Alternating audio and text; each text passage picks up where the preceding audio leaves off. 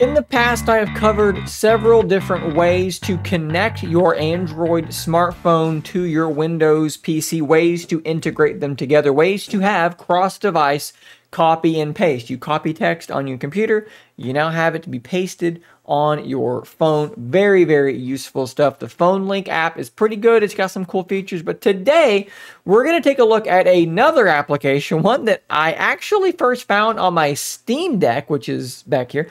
And I actually thought it was only a Linux thing, but I just recently found out there is a Microsoft Windows app that works really, really well. What are we talking about? We're talking about something called KDE Connect. And it is an application you install on your phone and on your computer. And once you've done that, it does all manner of really, really useful stuff, like, most importantly for me, copy and paste syncing. So as you see here on their website, files and links shared between devices, phone notifications, customizable commands. We're going to go through a lot of this stuff. Let's go to the download page. The, by the way, link is in the description so you can follow along with this stuff. For Android, it's in the Google Play Store as well as other places. For Windows, you can go directly to the Microsoft Store and you can install it from there. It's really, really simple to get up and running. On your smartphone of choice, once you've loaded up the app, you're going to allow notifications. And you can see here, since I've already got the app running on my Windows computer, it sees my computer already. So we're just going to click on that and request pairing. Back on your computer, you should get a pairing request. You can simply hit accept and that part is already done. Now back on your phone, you can go through and you can give it these permissions kind of piecemeal. If there's something that you don't think you're going to use, you don't have to grant it. But if you do think you're going to use it, like sending SMS, you can click on that and then give it that permission one step at a time. I'm going to go ahead and go through all of these and just give it permission across the board. And now we're pretty much up and running. So from there, what can you now do with this application? Well, let me show you. Let's go back to our picture-in-picture mode. And I'm just going to highlight some text here on my website. And I'm going to hit Control-C right now. And there it is. It is copied on my smartphone. I can now paste that on my smartphone very, very, very, very quick and works really well. I also want to point out that you're going to get this persistent notification up here. And if you don't want that, you can simply long press on it and hit turn off notifications and then turn off the persistent indicator and that'll be gone as well. Bit of a mild annoyance for me, but very easy to rectify. Now, if you want to copy and paste in the other direction, it's a little bit more difficult on your phone. What you're going to do is copy the text you want to send and then open up the KDE Connect app, or I believe there's an option in the persistent notification if you do decide to leave that on.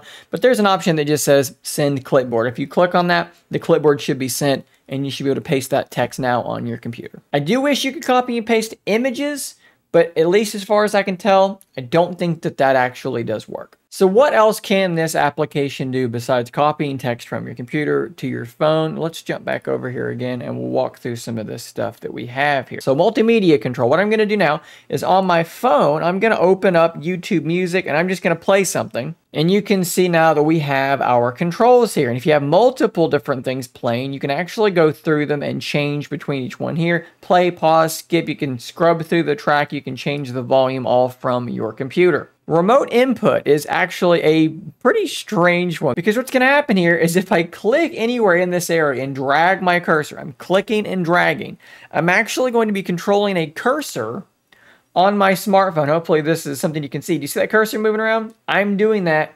with my computer. I'm not entirely sure how useful this would be, but maybe you've got your phone st- sitting next to you in a dock or something like that, and you don't want to reach out and use it. You have this on your other screen. It's a tablet, maybe even. You can very quickly use your same mouse to then control your smartphone, potentially kind of useful. You have a presentation mode, which I can't imagine I'm ever going to use, but it is there. There's a find device option that when I click on it, my phone's going to start playing a, a tone, a song to help me locate where it is. And then you have the share file option. If I click on this, I'm able to grab a file like this one and let's just send it straight to my phone.